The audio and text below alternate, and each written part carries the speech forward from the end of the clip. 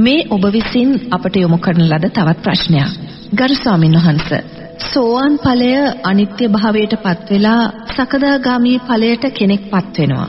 දැන් අනිත්‍ය කියන කාරණය දුකක් නම් මේ ආකාරයට මාර්ග ඵලයන්ද අනිත්‍ය භාවයට පත්වීම දුකක් නේද ස්වාමින් වහන්සේ? මෙහෙමයි නෝනා යමක් අනිත්‍ය වෙනවා නම් ඒ අනිත්‍යභාවයට පත් වෙන දේ නිට්ටය වශයෙන් ගැනීම නිසා අපි දුක සකස් කරගන්නවා. තේරෙනවද? අනිත්‍ය වීම නිසා අපි දුක සකස් කරගන්නවායි කියන කාරණේ ධර්මතාවයක්. තේරෙනවද? එතකොට එතනදී නෝනා සෝවාන් ඵලය අනිත්‍ය වෙලා සකුරුදාගාමී ඵලය සකස් වෙන බව ඇත්ත.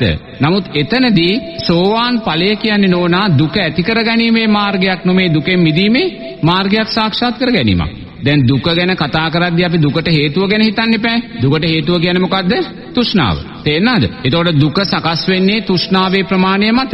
එතකොට යම් යමක් කෙරෙහි අපේ තෘෂ්ණාවෙන් බැඳිලා ඉන්නවද? ඒ බැඳිලා තියෙන දේ වෙනස් වෙනකොට අන්න අනිවාර්යයෙන්ම දුක සකස් වෙනවා. නමුත් සෝවාන් ඵලයේ කියන කාරණේ නෝනා අපි දුක මිදීම උදෙසා තෘෂ්ණාව ෂේ කර ගැනීම උදෙසා සකස් කර ගන්නා වූ අවබෝධාත්මක තැනක්. තෘෂ්ණාව ෂේ කර ගැනීම උදෙසා. ඒතොර එතනදී අපි සකස් කරගන්නේ සෝවාන් ඵලය අනිත්‍ය වෙලා සකුරුදාගාමි ඵලය සකස් කර ගන්නවා කියන කාරණේදී දුකක් නෙමෙයි අපි ඇතුළ ඇති වෙන්නේ. මිදුනාය කියන කාරණේ තුල තෘෂ්ණාව ෂේ කරගත්තාය කියන කාරණේ තුල සකස් වෙන්නා වූ විදර්ශනාමය සප්තබොජ්ජංගයක් තමයි එතනදී අපි සකස් කරගන්නේ. තේන විදර්ශනාමේ සප්තබොජ්ජංගය. විදර්ශනාමේ ප්‍රීතිය පස්සද්ධියක් අපි එතනදී ඇති කරගන්නේ. දැන් අතනදී දුක අනිත්‍ය වෙනවා නම් දුක බව ඇත්ත. තේරෙනවද? ඒ අනිත්‍ය වෙනවා නම් දුක බව සකස් කරගන්නේ කොහොමද? දුකට හේතු වෙන තෘෂ්ණාවේ තුල බැසගෙන තියෙන නිසා. දුකට හේතු වෙන තෘෂ්ණාව තව තව අපි වර්ධනය කරගන්න නිසා. නමුත් මෙතනදී නෝනා සෝවාන් ඵලයටපත් වෙච්ච කෙනා සෝවාන් ඵලය අනිත්‍යභාවයටපත් වෙලා සකෘදාගාමි ඵලයටපත් උනායි කියන කාරණය